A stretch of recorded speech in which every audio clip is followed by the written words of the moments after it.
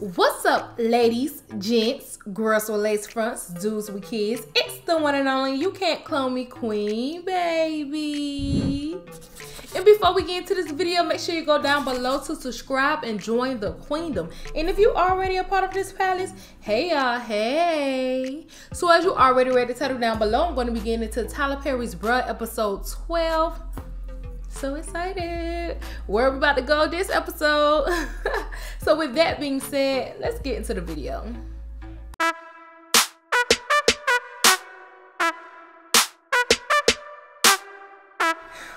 Okay so coming off of last week's episode we see that mike is drunk or just being belligerent and basically trying to holler at every girl that he sees because he's still kind of upset that pam ditched him or Pam don't want to be with him. So she kind of like, deuces, I don't want to deal with you no more.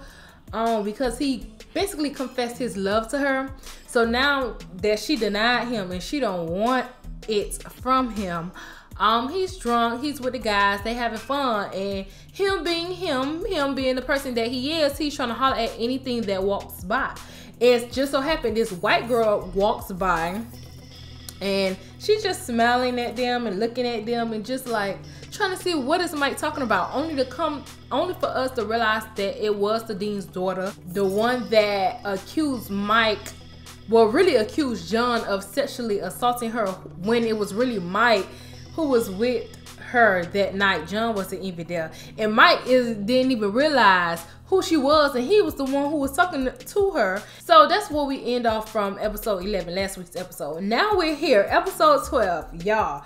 We basically entering and finishing off the entire scene of the dean's daughter the old white girl that was the dean's daughter and the boys and all of them just having a conversation.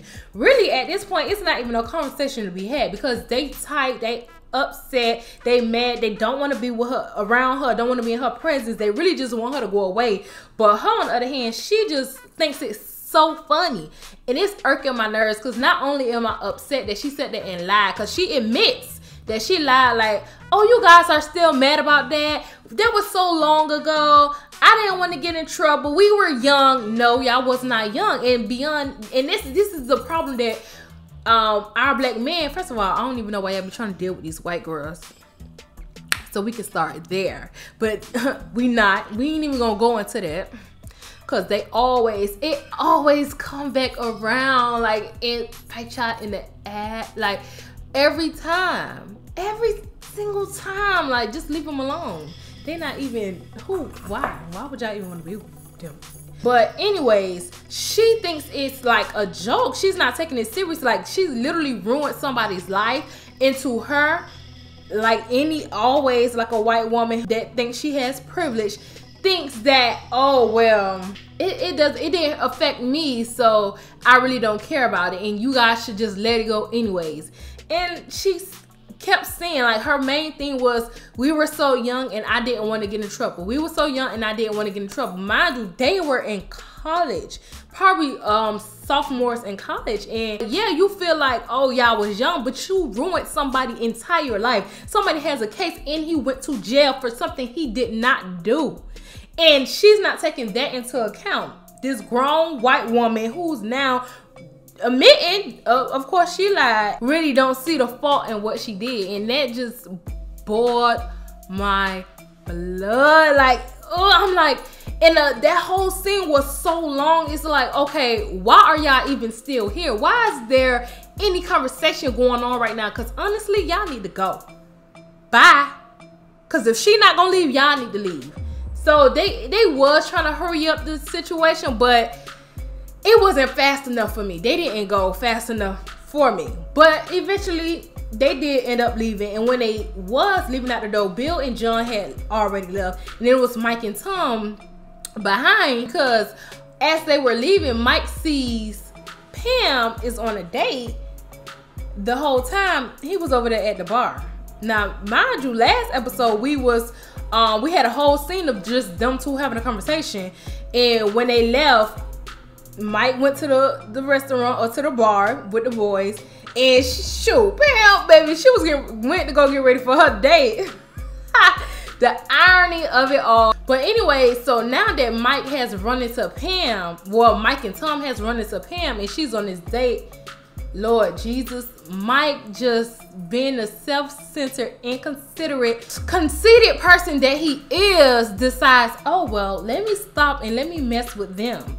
Like that's the vibe that he gave off. So he starts coming in, messing with Pam, and then starts messing with the guy that he that she's on a date with. So she he's just like, oh bruh, like what's your name, bruh? Um, who you is, what you do? Like just ask him all these type of questions and the dude is like, hey, chill out, little man. Like, basically, I'm not on it. Now, mind you guys, this is not the first time Mike has done this. This is the second time Mike has done this. When this girl has been on a date, he's seen her on a date and he's confronted the person she's on the date with. Last time, when he was on the, um, Pam was on a date and he confronted the boy, he threw water all on the boy pants, like the outfit and everything and the guy was just like, he just kind of brushed it off like it wasn't like a big, I ain't even gonna say it wasn't a big deal, but he didn't cause a scene. Like he just was, Mike left, did it, he left. Mike probably, Mike was scared though. He thought he was gonna get beat up. That boy was gonna come after him. But he did, he left it alone. This dude who Pam is on a date with now, baby, he's not playing it. He's going tick for tat with Mike because Mike, might always feel a need, not even so much feel a need, but Mike feel like he's so big and bad. Mind y'all, Mike is two feet tall. So honestly, everything, this whole persona, everything that he do is to basically put on the front like he's this type of person. He's so big and bad. But I I know inside he be crying. I just know he be crying. Any type of altercation that Mike's end up being in, the person, I feel like the person that he's in it with uh, just looks down on him. That they kind of like just brush him off and kind of ignore him so they don't really start no drama. But it's like he always nitpick, nitpick, nitpick. So he he met the right one, he met his match. And this guy's like, bro, I need you to leave type type of mess. Like, I need you to go. You killing our vibe. We on a date. Like, she begging. Pam is begging this man to leave, like begging him, like and telling Tom, like Tom, can you please get your friend? He's he's ruining what I got going on, and I really don't want nothing to do with him. Like, why is he even here? Why is he talking to me?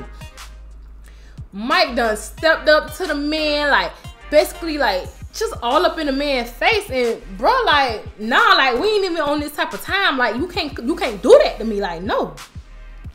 And Pam is still begging Tom to get him. Now Tom, I feel like in this situation, is probably not the best person to be there with Mike, only for the simple fact that Tom is so passive. Like, he's not aggressive enough. Like, Mike, he's little, but he's aggressive. So, like, the moment he, Mike tries to be like, bro, come on.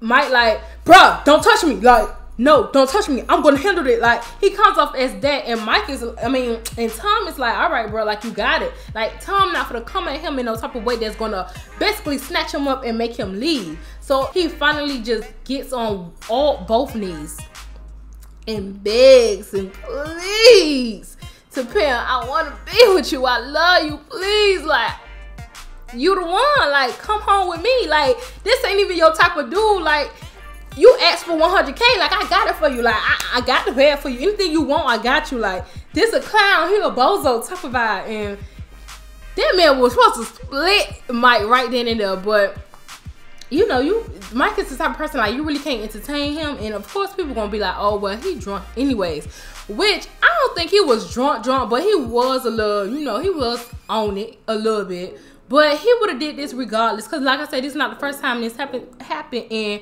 it's just like a, re, a um repeated cycle with him and Pam out of nowhere. That's the craziest part. This this whole thing is just really out of nowhere, and Pam is really not going for that.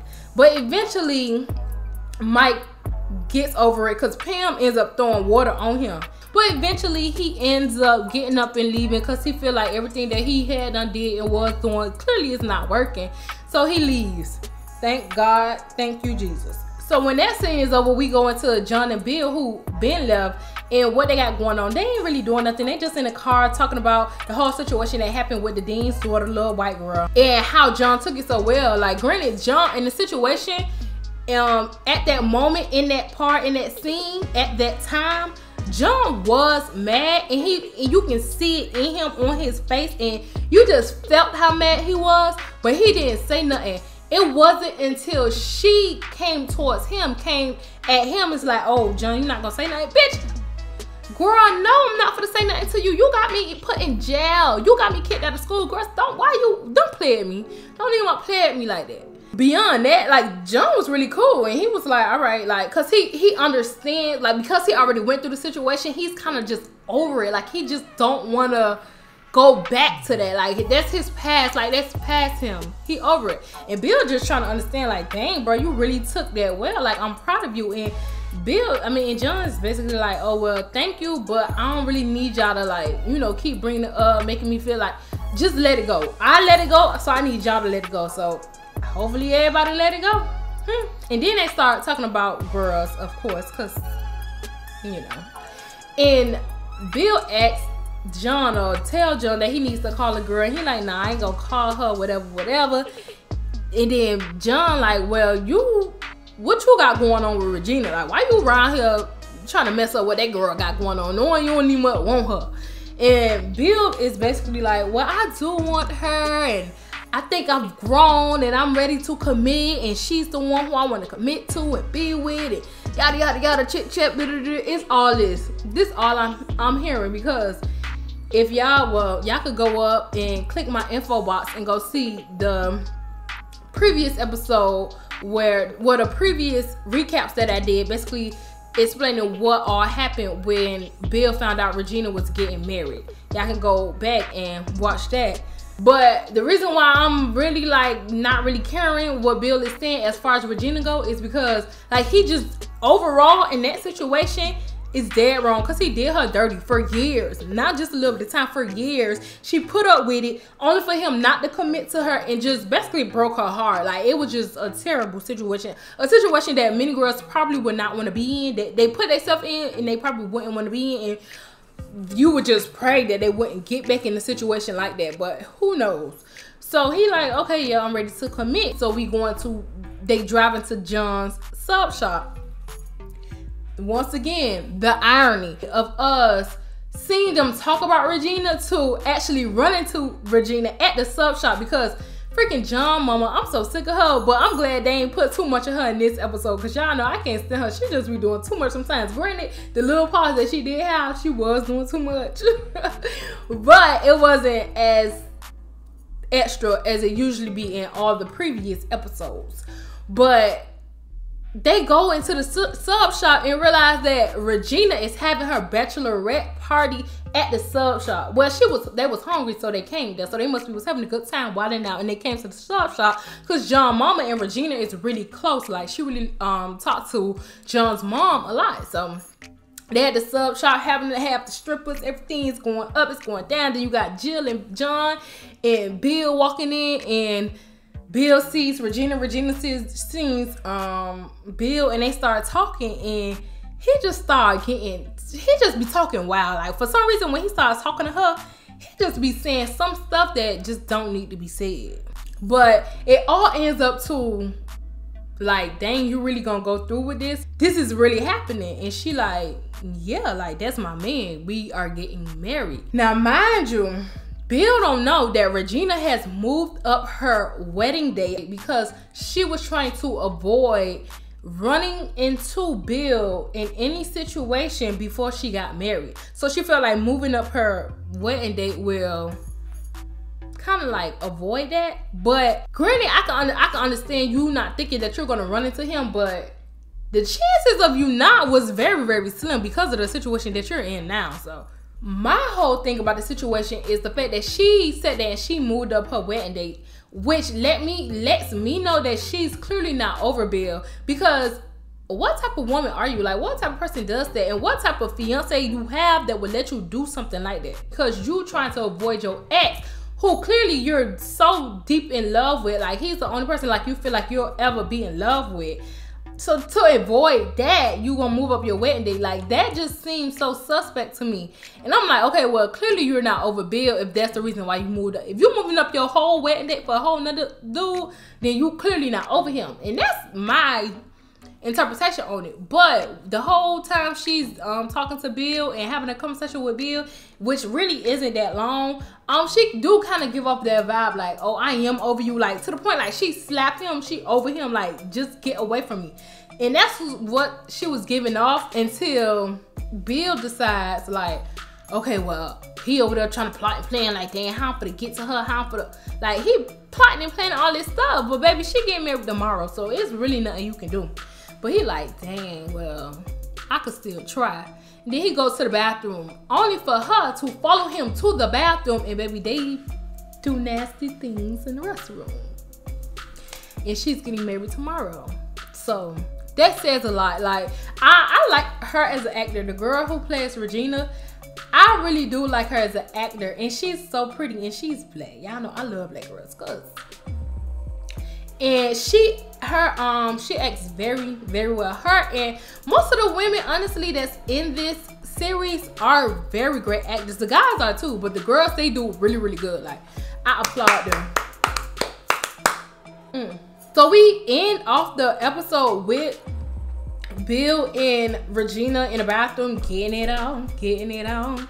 But before i kind of end off this recap i do want to go back a little bit into tom because before we see Bill and Regina in the bathroom, we did go to Tom, who's trying to get into his house, y'all.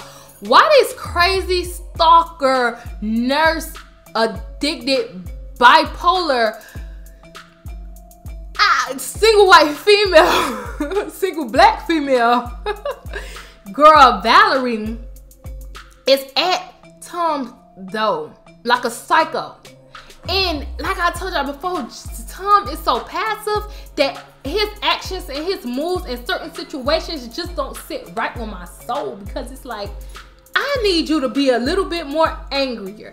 I need you to be a little bit more assertive about making sure she's nowhere around you in your area, not can't even reach you, touchable, can't smell you, can't look at you, like visible to you, like nothing. Like I need him to put more effort into that happening. Like she needs a he needs a restraining order on her because he's too um attainable for her. Like every time you turn around, she is there, and that is scary. That ain't scary to you, Tom. That is scary to me. Why is she popping up everywhere? But that girl, she done found a way into that man building at his door and she is confessing her love for him and she wants to be with him and she just needs to be with him. Like, you are the one for me and you need to act like it. And he like, girl, you just about to ruin my life, my career. I'm about to lose my um doctor's accreditation. I'm about to honestly go to jail because of your accusations on me at my workplace. Like, because of that.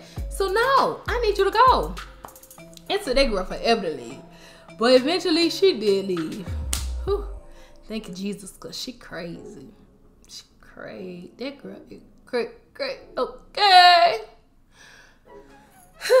so, I'm so glad that you guys stuck through and listened to my craziness and my rants on this week's episode, which I really enjoyed because last week's episode, like I told y'all, I thought it was really going nowhere because it was just one scene one tone the entire time. And then it did get brought up a little bit then it kind of went back down then it got brought back up. But this episode really gave us some juice and brought life back to this series so I'm so happy about that. Shout out to you, Tyler Perry, and shout out to the writers and directors and everybody else because it's really good. So y'all let me know in the comments what y'all think about this episode. Have y'all been watching this series? What more do you want from this series? Is it giving you enough? I hear a lot of people really don't like it, but I have been seeing some comments and some reviews of people who do liking it. So it's always with Tyler Perry films, it's mix, matchy, matchy, mix. Also, like this video if you like this video, but don't dislike my video. If you don't like my video, boo, then call out. And last but certainly not least, subscribe to the Queendom, baby. Bye.